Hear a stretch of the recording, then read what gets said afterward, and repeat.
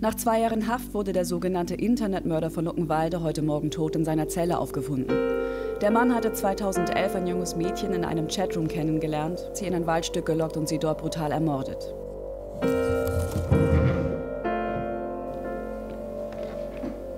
Einen geliebten Menschen loslassen zu müssen, hat mich an die Grenzen meines Verstandes gebracht.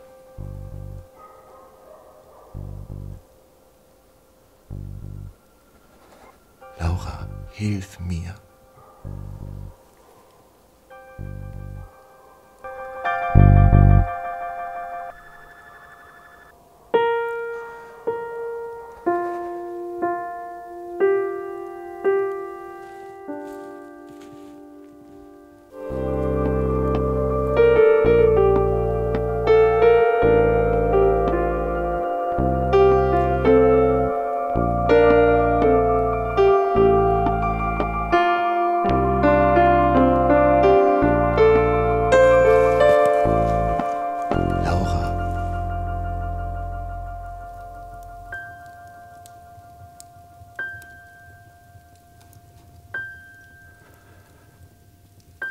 was los?